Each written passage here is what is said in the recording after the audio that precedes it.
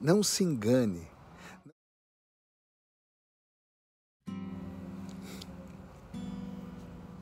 Cuidado.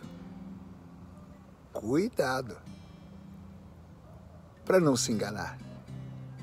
Para não se apoiar em falsos apoios. O Salmo de hoje diz: O Senhor é o meu pastor, o Senhor é.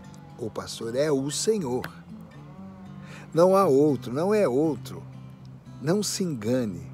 Não se apoie em quem não é, em coisas que não são, em circunstâncias que não podem cuidar de nós, suportar os reveses da vida, nos, nos dar suporte nos momentos complicados, difíceis.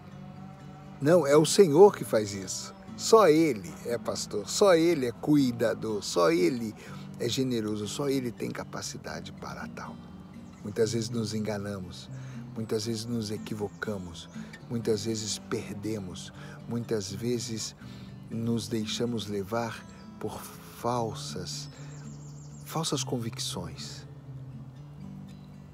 Nos encantamos, nos afeiçoamos, nos aproximamos de uma ou de outra iniciativa, achamos que vai funcionar, insistimos, insistimos, insistimos até o dia que ela por si só mingua.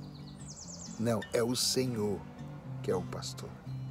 Jesus, eu posso cantar para ti: Tu és Senhor, o meu pastor, por isso nada, nada, nada faltará.